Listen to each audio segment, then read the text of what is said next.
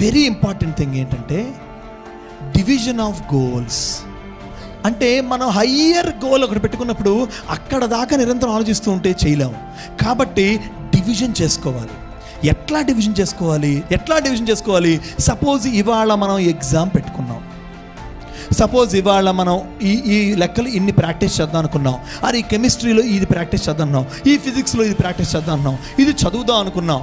లేదా రేపొద్దున ఇంతకు లేద్దాం అనుకున్నాం. ఈ అనుకునేటువంటి అంశాలని అంటే ఎక్కడో పెద్ద పెద్ద గోల్ పెట్టిన దానికోసం నిరంతరం ఆలోచించకంటే దీనిలో ఎంత ఆ గోల్కి అచీవ్ అవ్వాలి అంటే ఈ షార్ట్ టర్మ్ గోల్ని మనం అచీవ్ అవ్వగలగాలి అంటే రేపొద్దున మనం ఉదయం వెళ్ళి ఎనిమిది గంటలకి రాయాలనుకున్న మ్యాథ్స్ ఎగ్జామ్ని ఇవాళ సెట్ గోల్ కింద పెట్టుకోవాలి. సెట్ గోల్ కింద పెట్టుకొని లాస్ట్ టైం నేను రాసేటప్పుడు ఎన్ని వచ్చాయి నాకు? సపోజ్ అరవైకి నలభై వచ్చాయి. సో దాన్ని మార్క్ చేసుకో. ఎంతకు మార్క్ చేసుకోవాలి? నలభై అట్లీస్ట్ ఎంత చేసుకోవాలి? ఓ ఫార్టీ ఫైవ్కి మార్క్ చేసుకో. అది రీచ్ అవ్వడానికి నేను ఏం ఎఫర్ట్ పెట్టాలి.